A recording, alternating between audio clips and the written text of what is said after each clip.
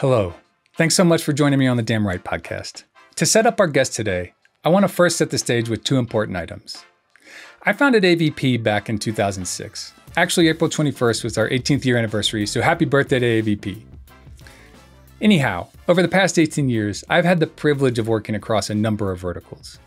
Anyone who has worked in a number of places within their career will know that one of the big and important parts of onboarding and becoming a productive part of a new company is learning and using the terminology. Each organization has its unique terms and the distinct way that they use those terms. So you'll understand when I say the thing that has differed the most in working across verticals has been the terminology. Our corporate clients talk about DAM. Our libraries and archives clients talk about digital preservation. Our government clients talk about digital collection management, and so on. In truth, there is a great deal of overlap in the skills and expertise necessary to effectively tackle any of these domains. Of course, there is nuance that is important and distinct, which is mostly about understanding purpose, mission, context, and history. This is akin to learning the terminology of a given workplace and coming to understand the things that make each workplace unique. Like anywhere, the use of a terminology is a signal to people about which tribe you are part of. Just as words have meaning, how you use those words has meaning. For years, this reality has caused a great deal of consternation for us at AVP. Why? Because we have always worked with an array of customers, we have always had to make sure to be careful and precise in our use of terminology. With an individual customer, this is easy. With a website, this is very difficult. On a website, you have to choose the terms that will resonate with your target audience and have them know that when they land on their page, they are with their people. We didn't want people who talk about DAM to see us talking about collection management and vice versa, thinking that they were not with their people. But in wanting to avoid offending anyone, we failed to talk effectively to everyone. In 2021, we decided to go all in on the term digital asset management and to make sure that we communicated to everyone that our definition of digital asset management was inclusive of digital collection management and digital preservation, and was not a term that was intended to exclude our clients and friends in sectors that didn't use this term. Since then, I've been relieved to find that one, we've offended very few of them, and two, these verticals have also started to embrace the term digital asset management themselves. Even more, these verticals have started to embrace technologies that use the DAM label. And conversely, technologies that use the DAM label have started to represent the interests and needs of people who consider themselves to practice digital collection management and digital preservation. I say all this as a backdrop because the focus of today's episode is on an archive of video Holocaust testimonies. It almost feels wrong to refer to these testimonies as digital assets. But even though my guest does not use any technology that refers to itself as a DAM, the practices and skills that are used are digital asset management practices and skills. A common refrain for digital assets is that they are not digital assets until you have the rights and the metadata to be able to find them, use them, and derive value from them. Historically, in the distinctions that have existed between the use of the terms digital asset management and digital collection management, one of them is the definition of value. In DAM conferences 20 years ago, if you talked about digital assets and value, you could be certain that 90% or more of the people in the room were thinking dollar signs. And if you were at an archive conference and you talked about digital collection management and value, you could be certain that 90% or more of the people in the room were thinking of cultural and historical value. And while I think this is becoming less true over time, it feels important to say that in this podcast episode and in the podcast in general, when we talk about digital assets and their value, that we mean any and all of the above. It is very true to say that a file without rights and metadata has no value of any sort, financially, culturally, historically, or otherwise. If you cannot find it, if you cannot use it, it has no value. So, in this episode, I want to ensure our listeners that there is a great deal of meaning and relevancy in calling these Holocaust testimonies digital assets. They are truly assets that have a great deal of value in the most holistic and meaningful of ways. Having said that, and with the Holocaust Remembrance Day coming up on May 6th, I'm privileged to have the director of Yale's Fortunoff Video Archive for Holocaust Testimonies, Stephen Naron, with me today. Prior to becoming the director, Stephen was an employee at the Fortunoff Archive, where he worked extensively on this collection of materials and helped guide it into the digital age. Since becoming the director of the Fortunoff Archive, Stephen has been prolific and innovative in his work to make these testimonies available to the public and to proactively use the materials in the archive to create compelling experiences for people to discover and engage with these testimonies. This has included collaborating on the development of a software platform, launching a podcast, releasing an album, running a fellowship program, and running both a speaker and a film series. And that's not even all of it. I'm so thrilled to have Stephen Naron on the DAM Right podcast with me today and to introduce him to the DAM Right audience. Remember, damn right, because it's too important to get wrong. Stephen Naron, welcome to the DAM Right podcast. I'm super excited to have you today. Uh, very glad to be talking with you about uh, all kinds of topics around DAM and this amazing collection and archive that you're the director of. Uh, thank you for joining me. Oh, it's a pleasure to be here, Chris. Thanks. So I wonder if we could start with you just giving us a background about your background, your history, and kind of how you came to be where you are today. Okay, well, I've I've been working with this particular collection, Yale's Fortunoff Video Archive for Holocaust Testimonies, on and off now since 2003. Um, so it really was my my first professional job as a, a librarian and archivist. But um, but obviously, I, have I've I've always had a, a deep interest in in Jewish history and Jewish culture and Jewish languages, and then and I studied um, I studied abroad, um, learned Hebrew and Yiddish and German. And um, while I was in Germany as a graduate student, I um, was lucky enough to get a position in an archive uh, at the Centrum Judaicum as a as a student worker. Uh, and it was the uh, das Gesamtarchiv der deutschen Juden. This is a, a, a, a sort of um, general archive for all of the Jewish communities in Germany, and I worked with that collection for for over a year as a as a student worker, and that's when I really was bitten with this sort of um, bug, this interest in archives in general, um, and so that's when I decided to sort of turn towards the the, the field of archives and and and and libraries, and when I got my degree, um, focused on archives in UT. Uh, in Austin, which was a great program. I learned a lot. Um, and then uh, right out of, law, uh, of library school, I, I, I, found the position at the, the Fortunoff Video Archive. And so it really was the first professional experience I had. And I, I just loved working with this collection. Uh, it's a collection that's exclusively uh, audio visual testimonies of Holocaust survivors and witnesses of, of, of the Holocaust.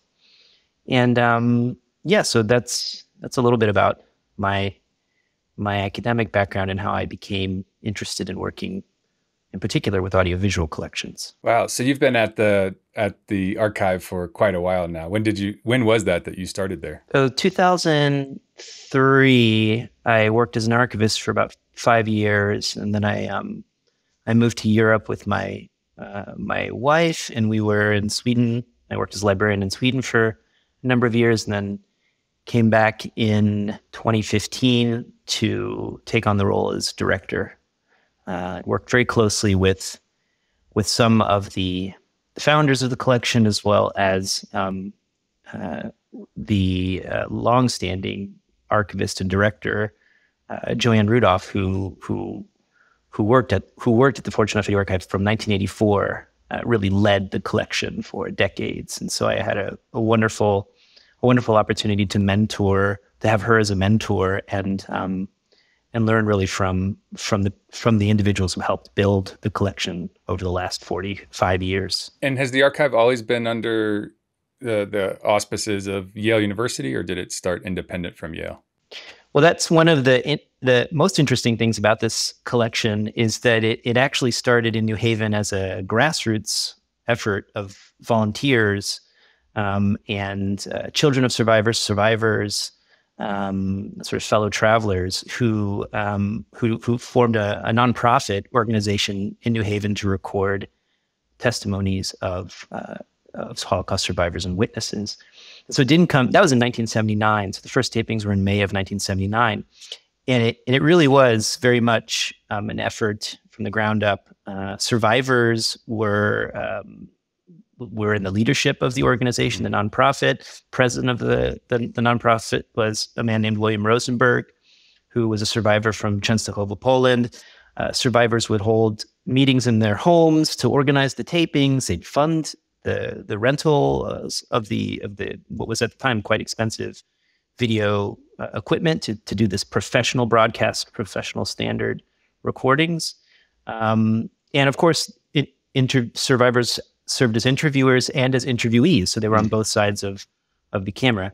And so that's in in the early days. Uh, 79 starts. And then um, one of the first survivors who was recorded in 1979 uh, was Renee Hartman, uh, who was born in Bratislava. And Renee happened to be married to uh, a professor at Yale, Geoffrey Hartman, who was a professor of comparative literature.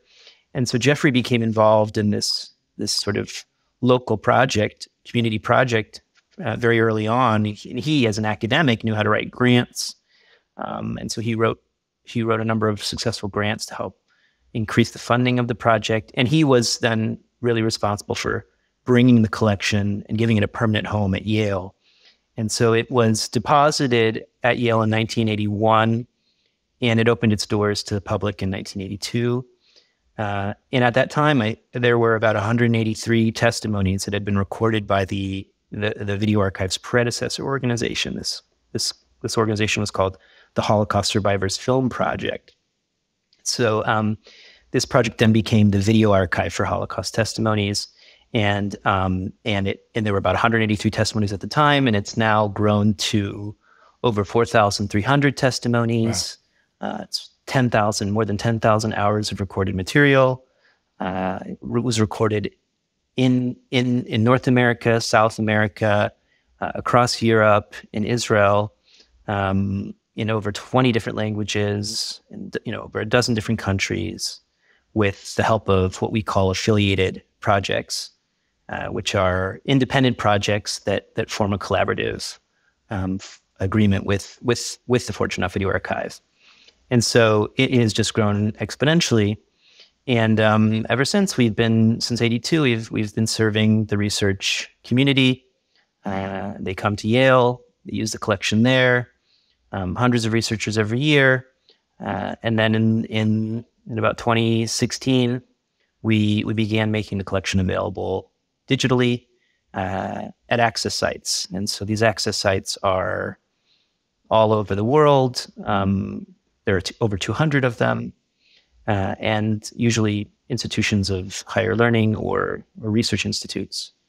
So um, the collection has been uh, uh, not only ha- has it um, did it grow from a small grassroots effort into a into a sort of a global um, a global documentation project, but it's now um, readily accessible all over the world. You've hinted at, at at several things that I just want to kind of put on the table so listeners understand. But the Fortunoff Video Archive for Holocaust Testimonies is um, all video recordings. Is that right?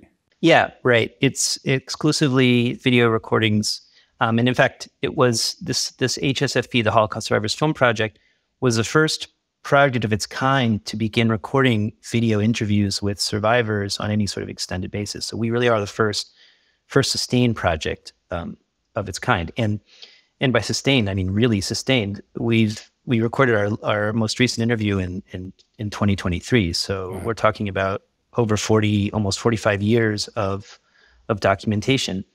And um, and so that's a that provides a, a quite a, a, unique longitudinal perspective of of this whole genre of of Holocaust testimony. There have been lots of many there have been many other projects that followed in our in our wake, and um, but but most of them rise and fall fairly quickly. This is this is a project that's really um, withstood the sort of test of time. And um, and another thing that's quite incredible about this this this sort of um, this this lifespan is that um, many of the interviewers who've been volunteers the entire time, volunteer interviewers uh, who were recording in the 1980s are still recording with us today. So when we when we we get a call from a survivor who wants to give testimony and who hasn't given testimony before, um, we pull in some of the most experienced interviewers uh, there are who, who who have done this type of work. You mentioned that these were originally recorded uh, many of them. You're still recording them, so you're not recording them on analog videotape today. But originally, they were recorded on what was considered broadcast quality analog videotape. Um, you talked about there being a digitization process uh, uh, of of everything in your collection. I believe at some point along the way. Um, could you just tell us about like what are some of the other?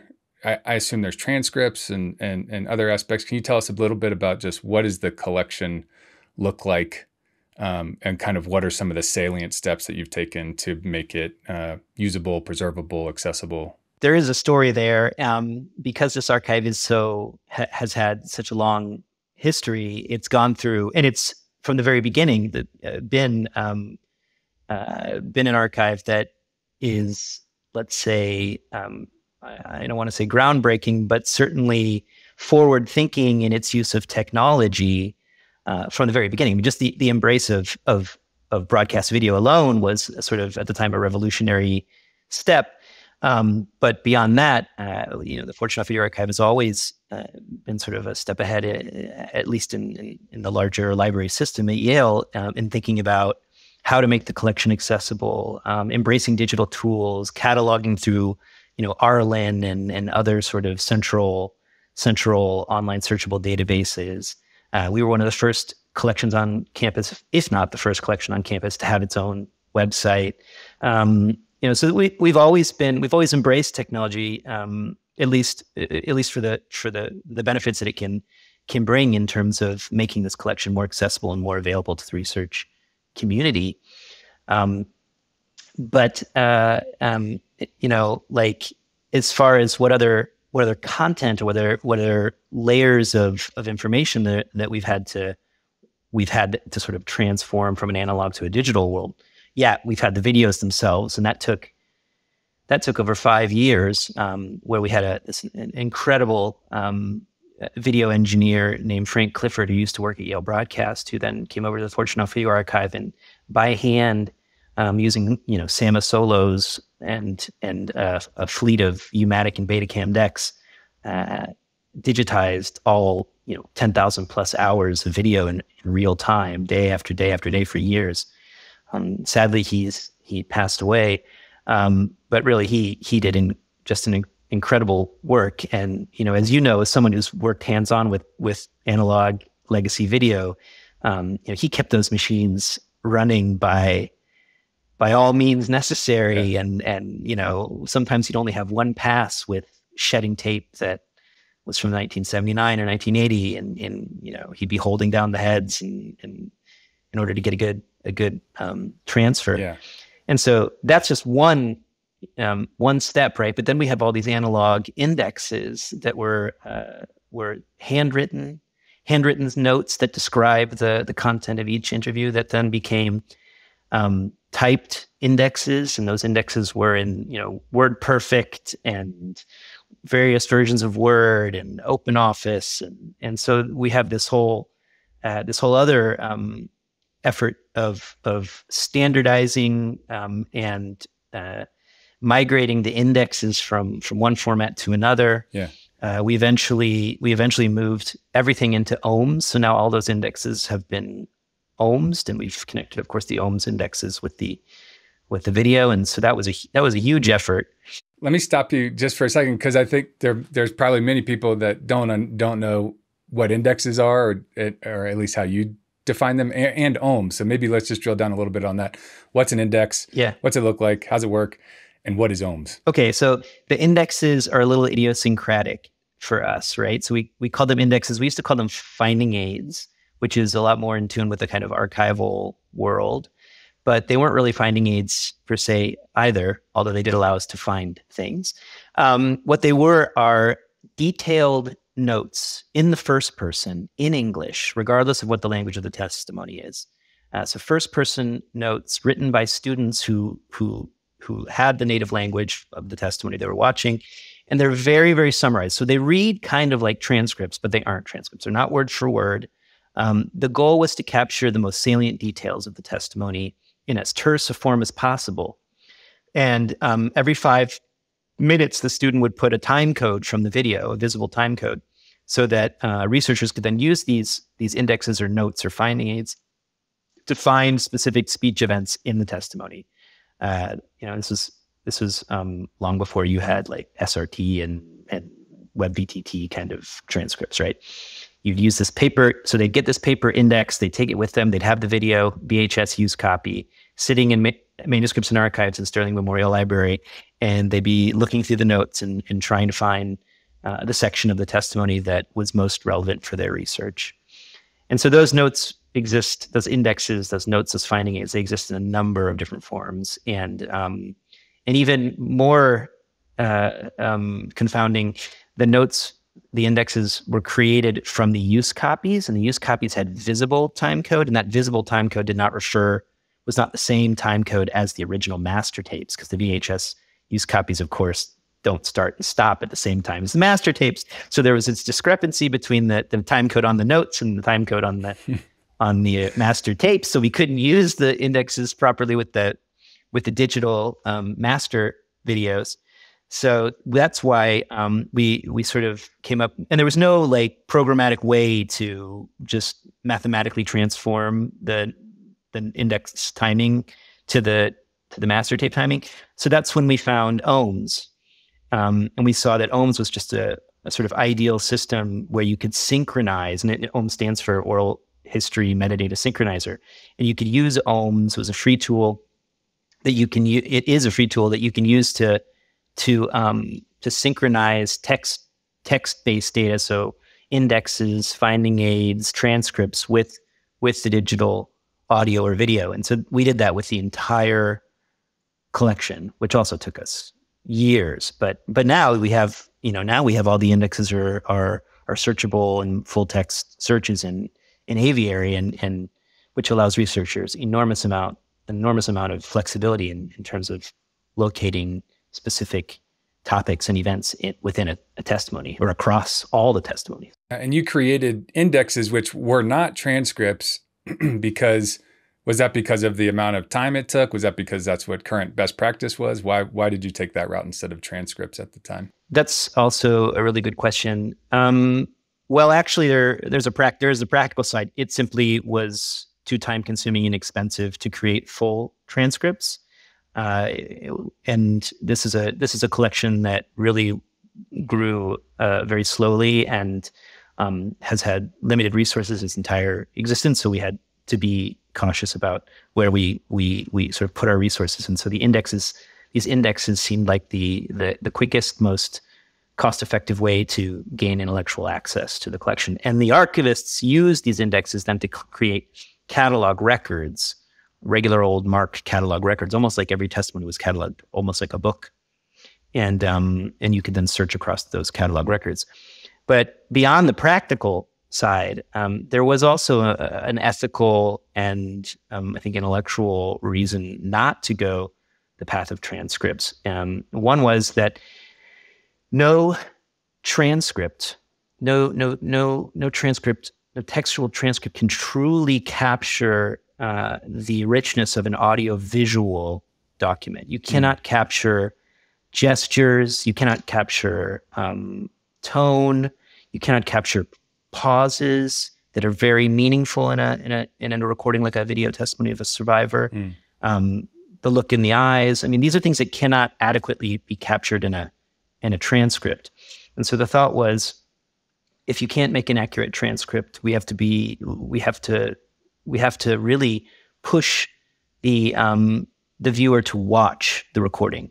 And again, that's also part of the the ethos of the archive is that we want you to watch. Mm. We want you to witness the witness, right? We want you to be a part. We want you to be present, entirely present. And if you provide transcripts uh, to researchers, as we all know, um, the researchers will go straight to the transcripts and use the transcripts and might not even watch the video. Mm. Uh, and that's big, you know, some researchers are are lazy like that. But we we felt that that was an ethical, ethically unsound um, use of video testimony. Yeah. Uh, and so we really want to we, we, sort of pressure, let's say, or you know, coerce uh, the researcher to watch the video and to watch the video in its entirety. Um, yeah, and I think that's an that's an obligation. There, there's an ethical obligation there that that needs to be followed. Yeah, that's really interesting. So you didn't want to mediate. It sounds like between you didn't want there to be a mediation between the the person that was watching or using these materials and and the original testimony. That's super interesting. It makes a lot of sense. Well, I mean, it also it does make sense because I mean, think about it. If you read if you read a transcript um, and it, and it's read by the and it's spoken by the survivor with an ironic tone of voice, how are you supposed to understand that there's irony or sarcasm in in a transcript? Right. Um, you have to you have to listen um, and watch in order to truly grasp what's happening. Otherwise, uh, researchers will will quite simply make mistakes. Yeah, they will misquote and and misinterpret. So I, I, sidetracked you there. You were kind of on a path t- talking about the various elements that you have in the archive. You were you were talking about indexes and OHMS when I stopped you. And and and was there was there were there other things that you wanted to to talk about there? Well, there are a couple of other things that are interesting, and we're still we're still trying to figure out how to integrate them. Um, one is we conducted something called a pre-interview all of the testimony. So the, the process of the process that we follow when we record testimonies is that um, there's contact with the survivor uh, several weeks or you know a week before the interview, um, and the interviewers who are going to be at the session uh, call one of them at least calls the calls the witness and tells informs them about how it's going to work, that it's a very open ended interview process, that they're going to they're going to introduce themselves at the beginning, and they're going to tell us their their you know start from their earliest childhood memories all the way up to the present. Uh, that there aren't set questions, um, but they then also ask them a series of of, of questions, of mostly you know, biographical questions. Where were you born? Um, when were you born? What did your parents do? Did you have any siblings? And so they gather all of this information prior to the actual interview so that they can then go back um, go back to the library and do research about uh, about this person's life. So the town they're from, learning about the town they're from, learning about the camps and the ghettos that they might have been mm. in. Um, you know, really diving into this person's life so that when they show up in the actual recording, uh, the interviewers are already well informed about this person's life. They know the names of the of of the siblings and the and the parents and what they did, and they don't have to ask these questions because they know it and then they can just serve as um, sort of guides or assist uh, the witness as they really tell their life story in as open a, uh, a manner as possible. So, so those those pre-interview forms are really interesting. Um, also, because uh, the interview once they get into this, the recording studio, there's a lot of unknowns. So uh, sometimes the information that's on the the the pre-interview doesn't make it into the interview because the interview has a kind of life of its own. Mm-hmm. Um, but we want to we, we need to find a way to to make those pre-interview forms more uh, the data in those pre-interview forms more accessible to the researchers because there's some interesting information there. Yeah. And then the other piece is the we're we're creating transcripts now. So as I mentioned, those indexes, those finding aids, they're always in English, no matter what the original language is, which can be really frustrating for for researchers who who who know these languages and then have to search um, in English, let's say, to find information in a Slovak testimony or a Hebrew testimony or a Yiddish testimony. So we're now in the process of of transcribing the entire collection uh, in the original languages, so that um, so that native speakers and uh, and researchers can can search across across testimonies in their language um, which is in a way a compromise um, in a in a move away from what I said earlier about you know we want to if we provide transcripts then the risk is that people will just use the transcripts and not to watch the video but but we felt this was a a necessary step in, in this day and age to to provide further intellectual access. Well, it also seems that there's been a major technological leap, whereas today I know the way that you uh, provide access to transcripts is synchronized with the testimonies. So, I mean, that's a very different experience than maybe 15 years ago where someone would have just gotten the transcript and may have never watched the testimony, right? That seems like that's a very different experience and stays true to what you said about why it was important not to do that at the time. Yeah, ab- absolutely. And also think about we've also been um, approaching transcription with another, you know, another um, motivation, and that is that you know, obviously people who are hearing Im- impaired can't take advantage of uh, an audiovisual testimony in the same way that a hearing person is. So to be able to provide a transcript and, and subtitles uh, for for testimonies is also really valuable. The other thing is even um, many of these testimonies are, are extremely um, can be extremely difficult to understand uh, because of the survivors often are speaking in in in a language that isn't their native native tongue, and mm-hmm. so there's a lot of heavily accented um, uh, uh, uh, testimonies, and so having transcripts and subtitles, transcripts as subtitles can be really valuable for everyone. Speaking of uh, the difference, the technological leap, uh, some of the things you were talking about, writing indexes down on paper, pre-digitization was videotape. When did you do the digitization work again? What year or years? So I would say 2010 to 2015, but okay. I'd have to look it. I'd have to look it up. Okay. Um, so and we and we still, you know, even when when we launched Aviary, the vast majority of the digital the digitization work had been done by the time we we were able to launch Aviary and make it make the testimonies accessible um, at access sites. Two points about that. One is it sounds so archaic this day and age, right? Writing indexes down on paper and and and I believe there's probably many modern practitioners that think that that sounds absurd, but two points. One, that wasn't that long ago, and that was not unstandard. That that was pretty typical of what you'd find in in a lot of people that were managing collections, especially of analog materials. Um, two, um, just as an insight into you know your your one archive out of many archives in the world, and just to think about how many people haven't done what you've done, which is uh, the digitization work, the transcription work, the you know you've you've as you said you've embraced technology, and that's not to to put anybody down that hasn't. It's just to kind of get a, a moment, a glimpse into how many things that are out in the world that were created not that long ago and for decades prior uh, that that still uh, may be uh, not accessible in some way. Yeah, and I mean also like if you think about a traditional, you know, many traditional oral history oral history projects, um, they would often record on you know tape or video and then create the transcript and then hand the transcript to the interviewee who would then you know sign that this this this transcript is an accurate depiction of my my statement, right? And then they'd actually get rid of the original tapes because the transcript then becomes kind of the document. Wow. So, um, so yeah, that's that's um, we're very different. We've approached this very differently than a lot of oral history projects.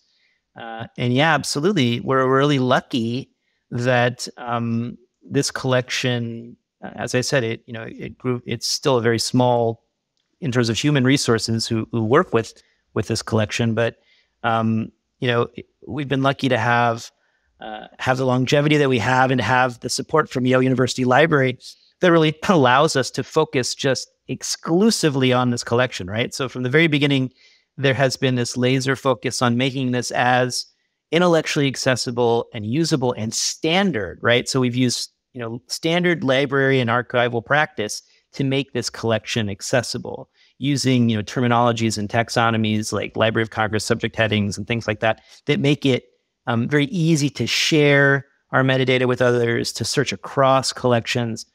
Um, and so, yeah, we're I think we're we're we've been very we've been very lucky to to be a part of a research library from the very beginning, mm. which which which helped us to to go down that path um, of of description and description upon description upon description. Thanks for listening to the DAM Right podcast. If you have ideas on topics you want to hear about, people you'd like to hear interviewed, or events that you'd like to see covered, drop us a line at damnright at weareavp.com and let us know. We would love your feedback. Speaking of feedback, please give us a rating on your platform of choice. And while you're at it, make sure that you don't miss an episode by following or subscribing. You can also stay up to date with me and the DAM Right podcast by following me on LinkedIn at linkedin.com slash in slash c. And finally, go and find some really amazing and free resources from the best damn consultants in the business at weareavp.com slash free hyphen resources. You'll find things like our DAM strategy canvas, DAM health scorecard, and the Get Your DAM Budget slide deck template. Each resource has a free accompanying guide to help you put it to use. So go and get them now.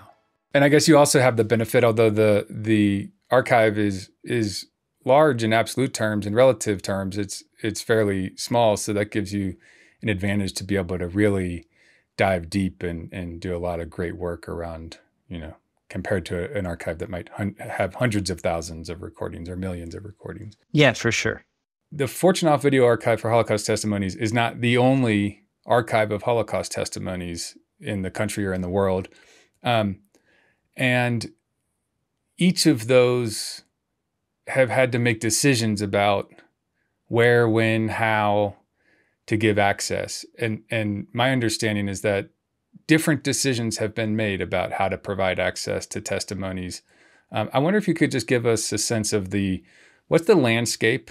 You know, are there a few or are there dozens of archives of Holocaust testimonies, and and help us understand what some of the and I'm not trying to you know I'm not trying to say that anybody's right or wrong or anything like that, but just understand some of the considerations about that that uh, these archives have had to navigate in thinking about how to provide access to Holocaust testimonies. There are many many collections um, uh, all over the world. Uh, there are several large collections which um, uh, sort of developed. Uh, most of them developed in our uh, after us after, after 19 we started in 1979 so um, and they do have indeed very different approaches to making the collections accessible uh, there's the U.S. Holocaust Memorial Museum, for instance, which you know we have to remember that in 1979 when we started, there was no U.S. Holocaust Memorial Museum.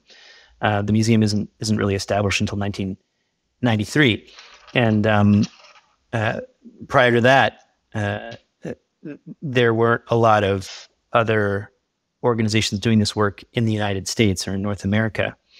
Um, but the U.S. Holocaust Memorial Museum is a national institution. It's a government funded institution. And so the materials that they create, the testimonies that they've created and collected over the years, uh, they have been given a very broad um, sort of broad permission to make those as accessible as possible. Uh, and um, I think that's that's in part because it's their they see their mission as a sort of general, um, you know, education, uh, educational effort, right? The general public to educate the American people about the history of the Holocaust. In order to do that best, they have to make their sources as accessible as possible. That includes testimonies. So their testimonies, of which they have thousands, um, are all digitized and accessible in their collection search online.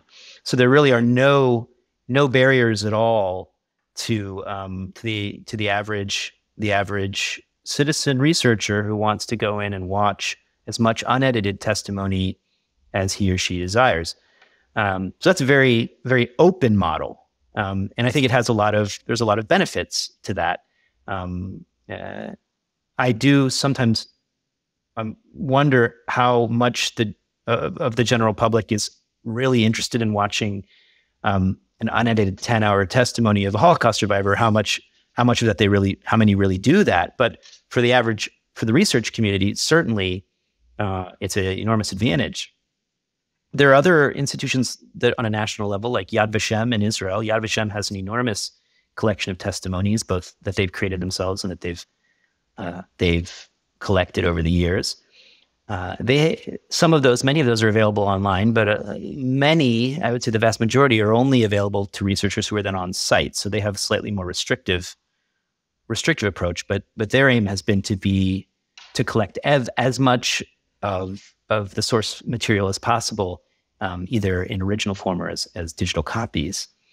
So they're a little bit more restrictive in a sense. Um, and then you have uh, another major a major collection, the USC Shoah Foundation, uh, which was started by Steven Spielberg after the the um, the release of Schindler's List uh, in '94, and he in uh, his organization, the organization that grew out of this initial um, impulse, collected something like fifty thousand testimonies of survivors, but in a very short period of time. So I think about less than ten years, uh, and they they're now at USC, but they weren't at USC originally. They were on the Universal Studios back lot, I think, mm-hmm. and so they had a very different approach to this work, almost, um, uh, you know, um, outside of the traditional world of academia and libraries, and um, and for a long time, their collection was only was only accessible through, and it still is for the most part, only accessible through subscription, a subscription model. mm. and so they became um, they have this you know this enormous, incredible collection, but it's only accessible to at universities and research centers that have the have the resources to pay for that subscription fee. And so that's another another model that is a little bit more restrictive. Um, at the same time, they have free tools for high schools and and and, edu- and for educational use. Something called Eyewitness that has something like three thousand unedited testimonies that are openly available. Yeah. So they still provide um, thousands of of complete unedited testimonies, but the vast majority of the collection is behind a a, a paywall. Yeah. And then you see you know, the Fortunoff Video Archive, which um, uh, has digitized its entire collection now. Um, uh, but for decades, uh, its collection was only accessible at at at Sterling Memorial Library in the Manuscripts and Archives Department in the Reading Room at Yale University. So you'd have to make the the pilgrimage to New Haven to work with this material, and um, and so that's also in a sense very restrictive. Um, uh, only not everyone can can afford. Not all researchers can afford to make the make the trip to New Haven to do that that type of work. So, um, but there's no costs in, involved with using the collection. So, in a sense, it's open to everyone. Uh, and that was that's how it, how it, how it worked at Yale. And so that was a bit restrictive. Um, but now it's a, now we've also opened up now uh, now that the collection is digital at these and making it available at these access sites. I said, you know, I already said more than 200 of them, but still, um, it's not like a, it's not like we've we've thrown it all up online like U.S. Holocaust Memorial Museum. It's still kind of like a, a closed fist that's kind of slowly opening, right? Mm-hmm. And um, and it's only accessible at these access sites. Uh, it's free, so the access sites don't have to, to pay a subscription fee, but they still have to sign a memorandum of agreement with us it's only accessible on on IP ranges that are associated with those institutions, so at, at, at various universities and research centers. Um, so there is still a, a, certain amount of of restriction on who can see it when and where. Yeah, and we have a different. We just have a very different, um, a very different model, and that model of how to use a collection like this comes from, I think, um, the fact that we were started by survivors themselves and, and children of survivors. This this this organization from the very beginning was very concerned about um, concerned about the well being of of the survivors before, during, and after the interview has been has been given. Um, all of the witnesses sign release forms, and in these release forms, uh, it clearly states that Yale University owns copyright to the recording. We, we, we can do theoretically, legally, whatever we'd like, but that doesn't mean we should. Um, and, and there was always a sense that um, the survivors, as, although they quite clearly wanted to share their story with us and in, in, in, a very public manner by giving testimony, um, they still deserve some modicum of privacy and, and, and anonymity. Um, and so we've we've we've been fairly restrictive in terms of not making it widely accessible online. Um, I mean, the release forms state we could broadcast them, et cetera. But could survivors in 1981 really imagine something like the the internet where you could it's basically broadcast their entire unedited testimony with no obstacles 24 hours a day to any place in the world. I mean, that's what the internet is and and that feels like a step a step too far mm. um, without any without any kind of mediation for mm. us. You also talked about um, 200 access sites. Could you tell us what are those? Who are they? How do they work? What what is that? What does that look like? Yeah, I mean, I I did want to say actually something else about um, some of the ways in which we the archive places certain restrictions on access that might seem a little strange or idiosyncratic. Um, uh, another example uh, that I forgot to mention was, yeah, so things are slightly locked down in, in the sense that they're only available at access site. But but another thing that's really unusual about this collection is we we also truncate the last names of the survivors. Hmm. So if you were to search the metadata uh, in our, in a, if you were to go to Aviary and search, um, you would see very quickly that the testimonies are uh, the titles of the testimonies are, you know, Stephen N. Holocaust testimony, Chris L. Holocaust testimony.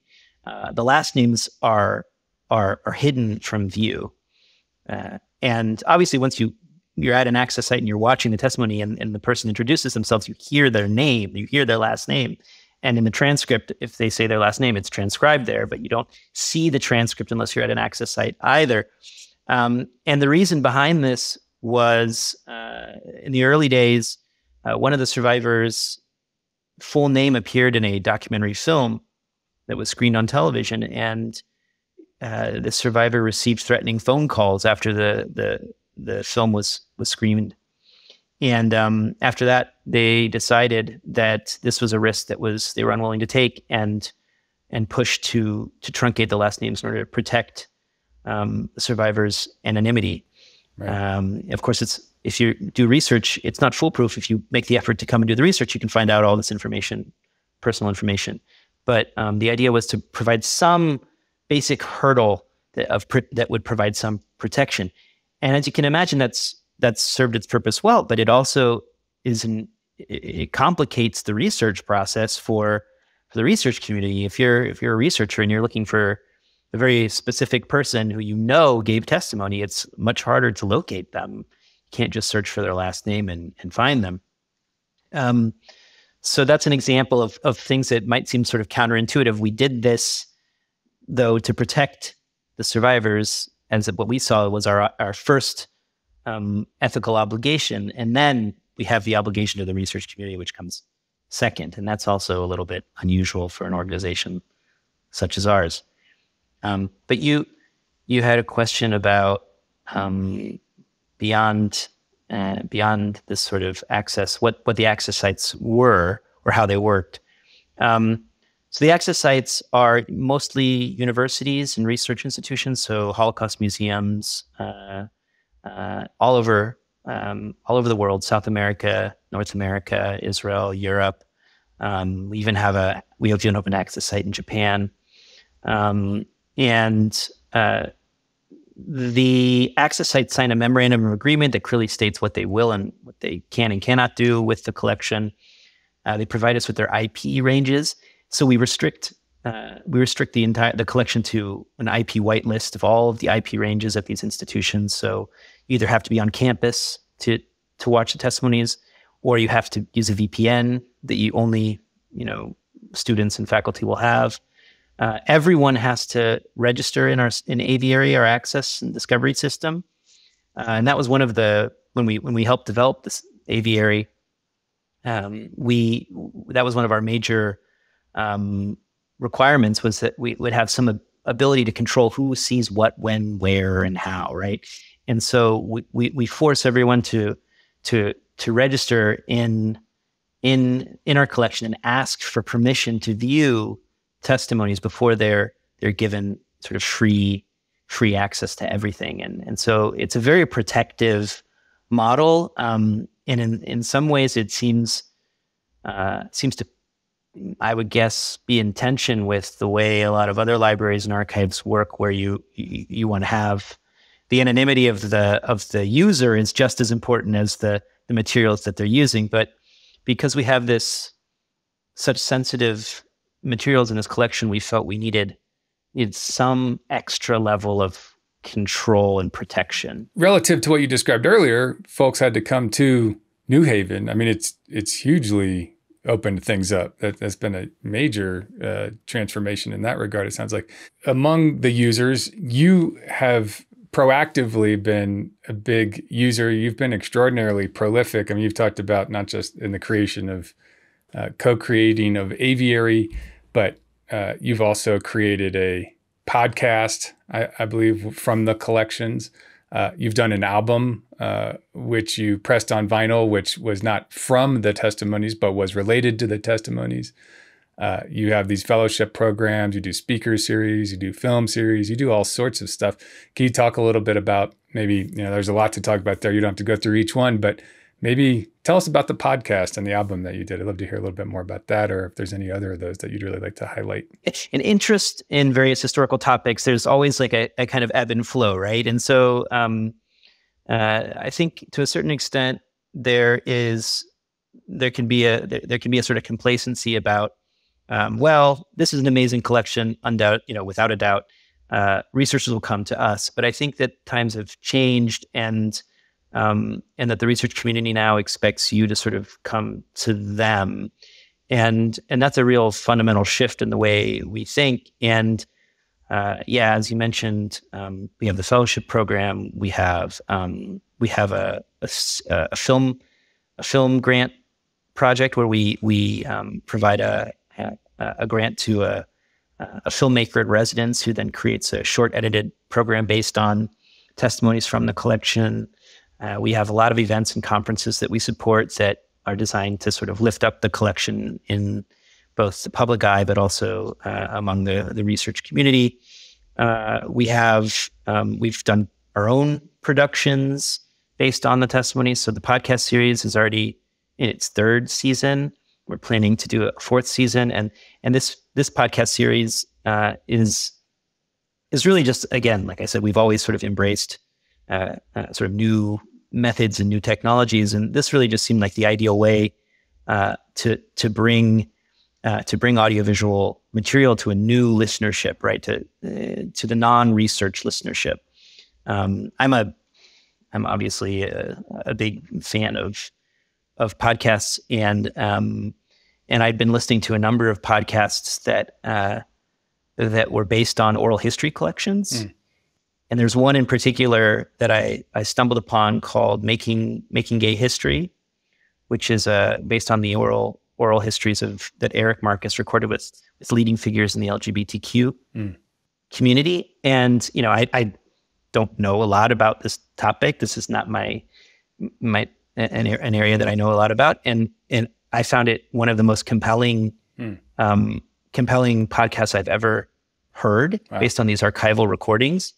And I said, okay, well, we need to do we need to we should do something like this. And and so I asked Eric Marcus um, if he'd be willing to help produce uh, produce a series for us. And he also just happens to be a nice um, you know, Jewish boy from New York, and so he agreed and um, and found a, a team of of uh, of to support him. Another a co-producer, Nahanni Rous, um, and they've been producing edited edited versions of the testimonies in, in, in podcast form now for three seasons with um, with quite uh, with quite a bit of success.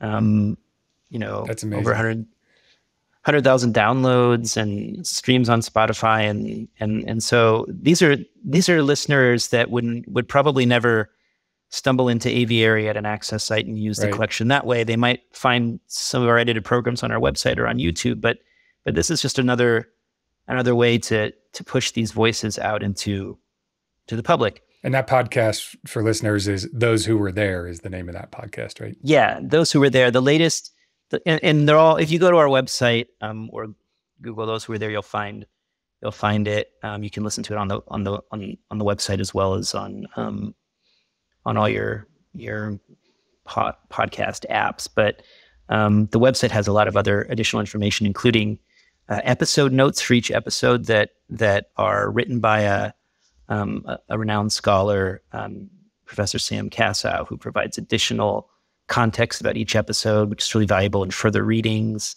images that we've gotten from the families, scanned images from from family archives. So it, it's a really, I think it's uh, you know on the one hand it's a little strange because you're taking a video testimony and, and removing the video and making it into audio in order to do this.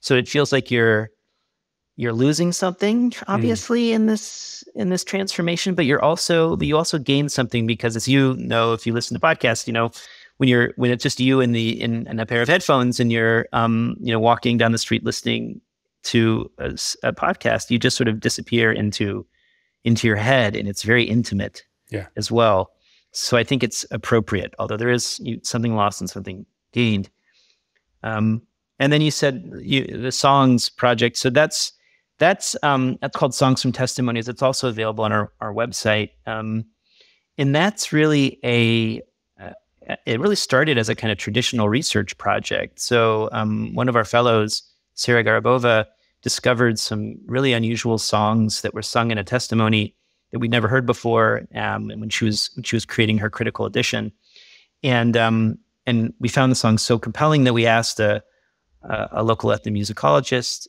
um, in New York and um, a musician himself to come and perform the songs at a conference uh, as a sort of act of commemoration. Mm.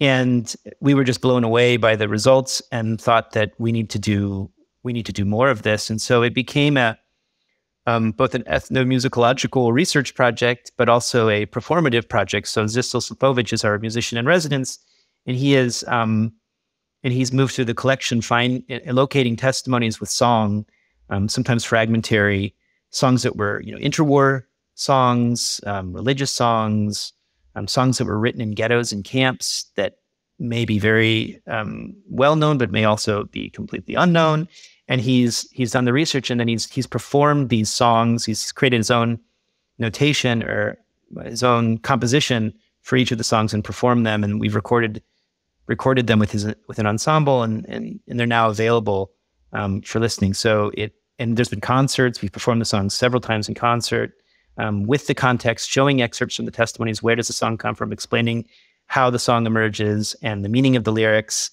Um, and yeah, so it, it's a research project, it's a performance project, it's a commemorative project. It's also a really valuable learning um, learning tool. It's a way for for the general public to enter into a difficult topic, yeah, um, and learn a lot about learn a lot about testimony. So so it's been a pretty rewarding a rewarding project. Such a beautiful story. I love that, and um, and I also know uh, that you pressed it on vinyl as well, didn't you?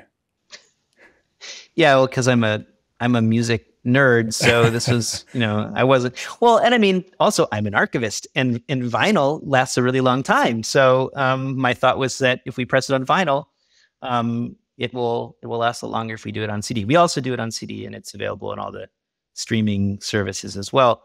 Um, but you know, it is a work of art. We had a local uh, a local letterpress artist, Jeff Mueller, who runs um, Dexterity Press. He, he printed each of the sleeves by hand. Wow. Um, and they were designed by uh, this incredible Belarusian um, artist, uh, Yulia Ruditskaya. And she, um, she did all the design work. She actually created a, um, a uh, an animated film around one of the songs as well. Oh wow! Uh, there's more information. She was one of our Vlock fellows. It's on our website as well, the film filmmaker in residence fellowship. So, um, yeah, it's a it's a really it's a really interesting project, and I've learned a lot about the value of music as a historical source um, through this through this effort. Yeah. Um, but also the music itself is just is quite beautiful. These are these are world class musicians doing you know performing these pieces. It's it's really something to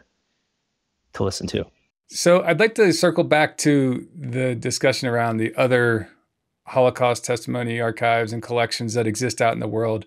Um, to someone that's an outsider to the nitty gritty details of all that, and you gave us some good insights into what some of the variances and variables are there. But it would seem that as a naive user who is interested in researching Holocaust testimonies that I might be able to go to a single place and search across, um, you know, all of these various collections, or at least a number of them.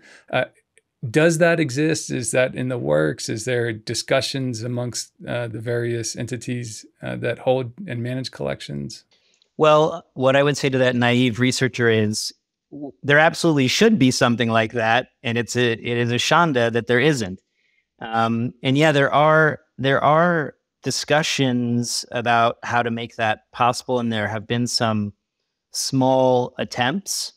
Um, but at this point, um, uh, you know, I think my description as well of the different organizations and their different sort of policies around access uh, also point to the underlying problem here, which is that all of these organizations are are unique individual organizations with policies and procedures and politics um, that can prevent them from you know, playing nicely with one another.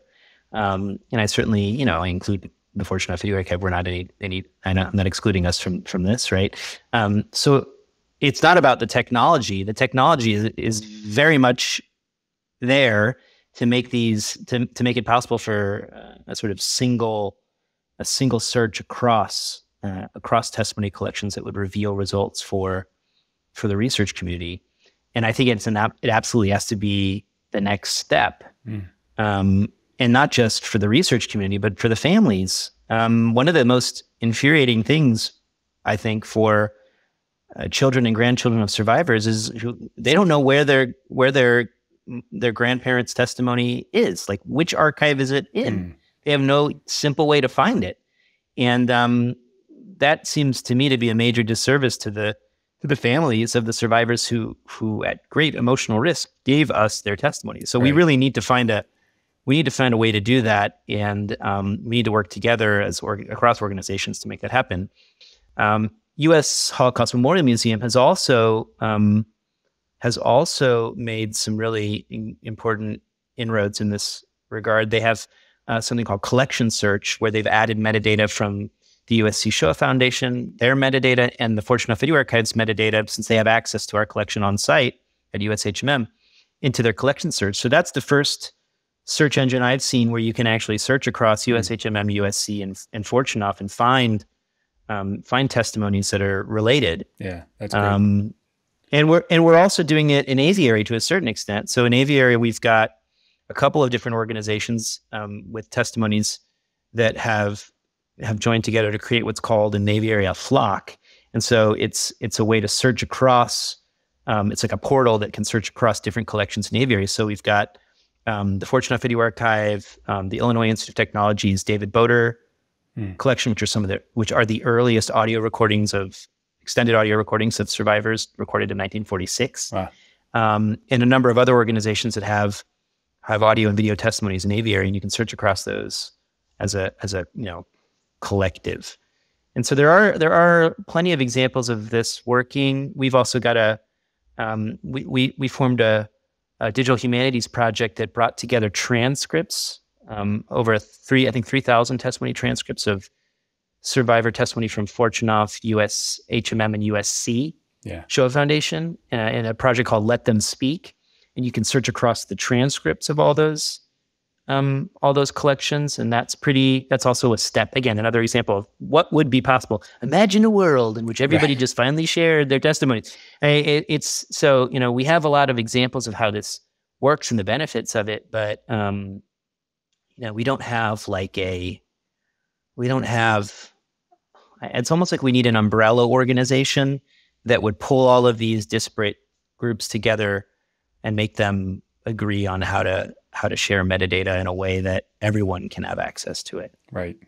We're not there yet. Yeah. Okay. Some some glimmers of hope, but but not quite there yet. Yeah. Switching gears, I want to ask a question. Uh, I recently had Bert Lyons uh, on the show, and we talked about content authenticity.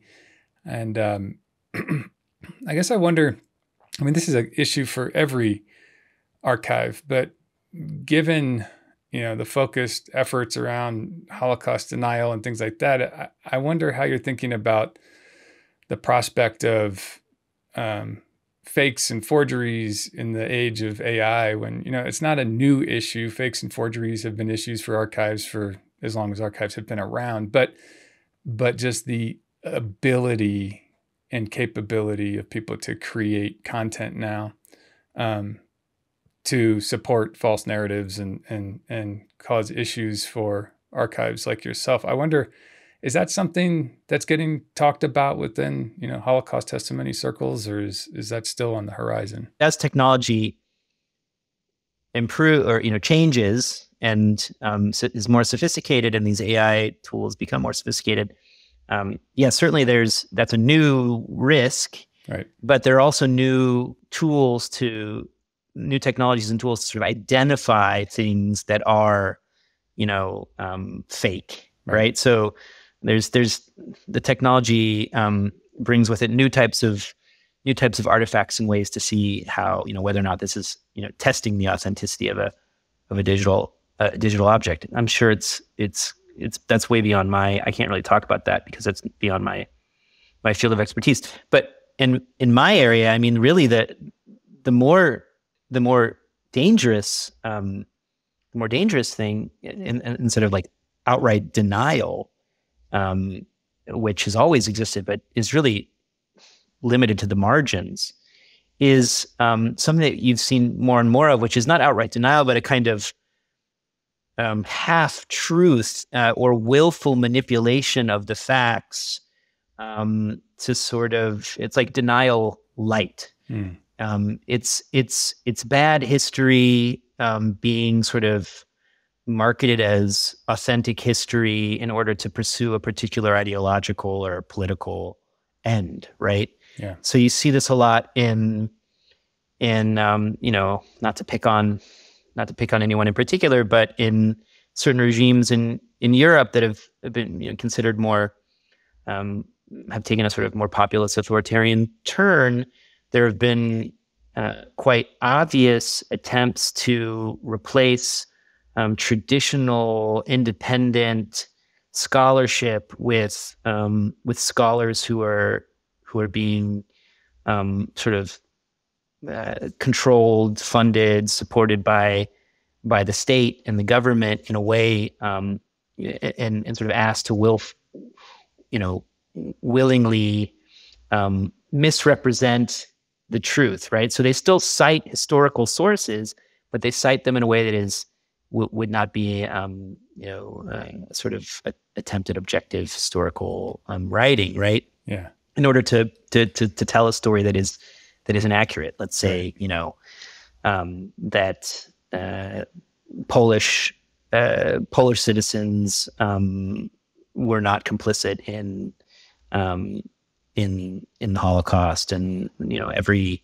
every Polish village um, was filled with with individuals who were um, willing to hide uh, and save Jews from extinction. Like, see, these types of um, sort of ex- exaggerations of of um, and, and misrepresentations of sources. That's becoming a much greater threat than outright denial. Also because it's difficult because the way it's shaped, it looks like scholarship, right. right. looks like research. It's presented from official organizations that just happen to be corrupted, um, and so that becomes um, becomes much more of a difficult thing to to push back on. Right. But you can, and, and, and scholars do that. And that's exactly what's what, what good scholars do is they push back on this stuff. Um, but yeah, the AI, um, the, the in, considering this is an audio visual collection exclusively at the Fortunoff Video Archive, yeah, it's um, it seems pretty frightening. What is what is what would be possible? Right.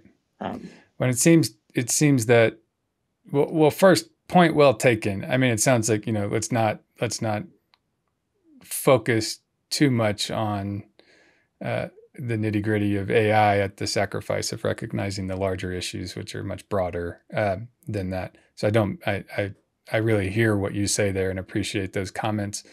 Um, I guess w- just one of the things I think about, I mean, the kind of quick scenario you threw out was like uh, someone creates something fake um, and it, they're tools to identify things as fake, and that's true.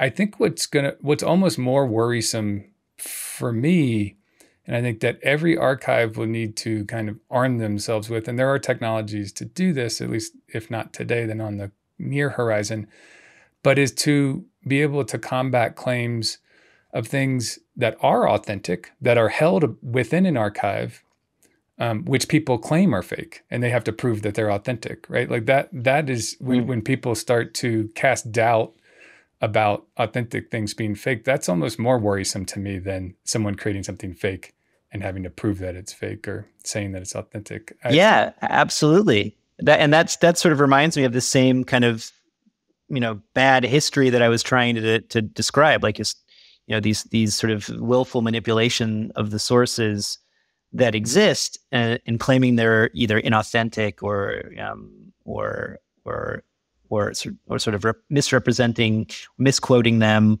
or quoting them selectively in order to to make an argument that's that's unsound. I mean, that's absolutely true. That could that seems like a tactic that could be used.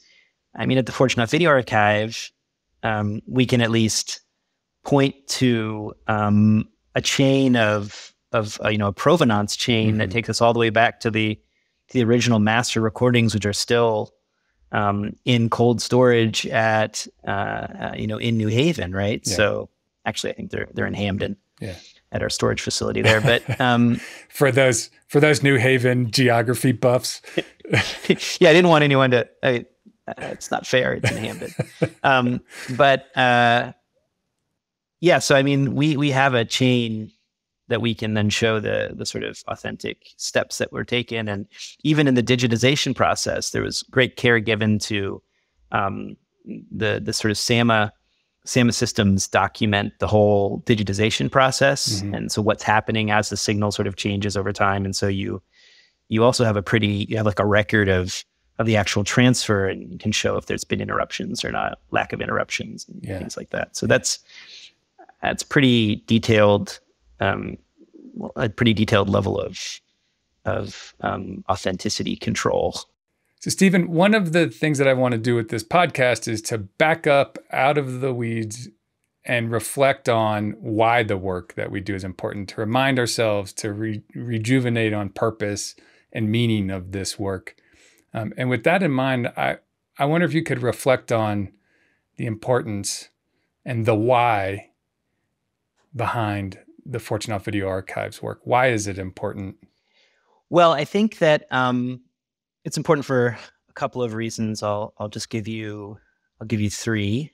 Um, well, first of all, the, the Holocaust is is quite possibly the greatest crime committed in the 20th century and one of the greatest crimes in history. And and as such, the the brutality of the Holocaust has really impacted our society on on on so many levels. so from a kind of universal perspective, we're still very much living in a world that was was shaped by the impact of the Holocaust and the Second World War. Um, our belief in um, these ideas of universal human rights, et cetera, and of course our inability to always adequately support um, support uh, uh the regime of human rights internationally. Um, this is directly related to um, to the to the events of the Holocaust. And so if you really want to understand the world in which we're living today, you cannot do so without approaching the history of the Holocaust. And the history of the Holocaust needs to be approached by every generation in a new in a new way. So, um, and having an archive such as this uh, is one of the best ways. Working and engaging with an archive such as this is really one of the best ways to approach this this topic. It's also important and the work we do is important because I think the archive is is is something of a living memorial to to those who did not survive, right? So the survivors themselves are are really the anomalies. They're the lucky ones. Um, and the vast majority of European Jewry was murdered, six million men, women, and children. And so I, I really see this this archive as a, a sort of living memorial to um, both the, the, survivors and those who did not survive, their families who did, did not make it, and and so the archive can can can serve as a as a as a bridge between the living, us, and and the dead. And um, and in fact, as as we as time progresses, and we're we're beginning to reach an era where um, there will no longer be any living witnesses of the Holocaust um, due to just simply demographic um, change, the the archives and archives like this one of testimonies of Holocaust survivors will only become that much more important. Uh, it will be the only way in which we can really engage with um, personal stories of of the witnesses. Um, only only diaries and memoirs and testimonies like this can can can give us an access to what it felt like to be uh, to be there at uh, in the war, in the camps, in the ghettos, um, and, and, to have survived.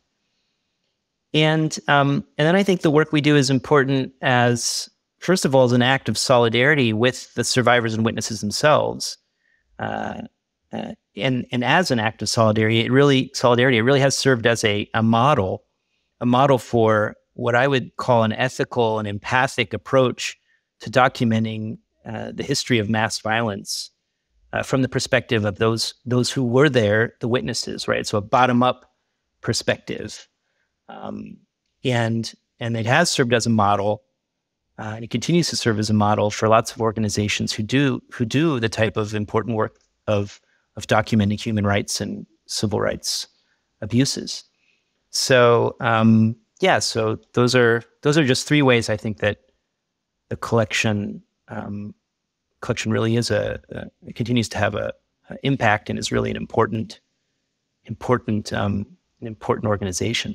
Well, Stephen, thanks so much for joining me today. Uh, it's been extraordinarily enlightening. I want to thank you for your work that you do, and um, it's just been an amazing. It's been amazing to hear about the journey of of this incredible collection and archive. So, thank you for sharing with us today.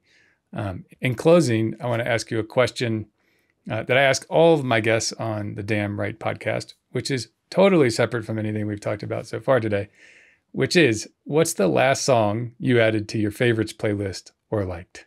The last song I added to my uh, my playlist. Um, well, I guess I have to stay true to uh, true to the archive and maybe not be entirely honest and say that one of the last songs I put on my playlist was from the volume three of our our songs from testimonies project, which is called Shotns or Shadows, um, and it would it would be the title track, um, uh, which is a Yiddish song. Uh, that's in my playlist, and okay. I hope you all listen to it too. Okay, we'll share the links to to that in the show notes. Can you tell us what the actual last song you put in your playlist was? It's actually I you know usually it's whole albums. I put whole albums in my playlist. Is a um a Greek a Greek um avant-garde musician named Savina Yannatou, okay. who I stumbled upon. Yeah, the song is called um, something in Greek, which I went will not okay. you know mispronounce for your audience. I'll, I'll, get the link from you so we can share it with everybody. Wonderful. All right. Okay. Well, Stephen, thank you sure. so much. Uh, you've been extremely generous with your time and all your insights. Uh, thank you very much. I appreciate you taking the time. No problem. Thank you, Chris. Thanks for listening to the DAM Right podcast. If you have ideas on topics you want to hear about, people you'd like to hear interviewed, or events that you'd like to see covered, drop us a line at damnright at weareavp.com and let us know. We would love your feedback. Speaking of feedback, please give us a rating on your platform of choice. And while you're at it, make sure that you don't miss an episode by following or subscribing. You can also stay up to date with me and the DAM Right podcast by following me on LinkedIn at linkedin.com slash in slash C And finally, go and find some really amazing and free resources from the best damn consultants in the business at weareavp.com slash free hyphen resources. You'll find things like our DAM Strategy Canvas, DAM Health Scorecard, and the Get Your DAM Budget slide deck template. Each resource has a free accompanying guide to help you put it to use. So go and get them now.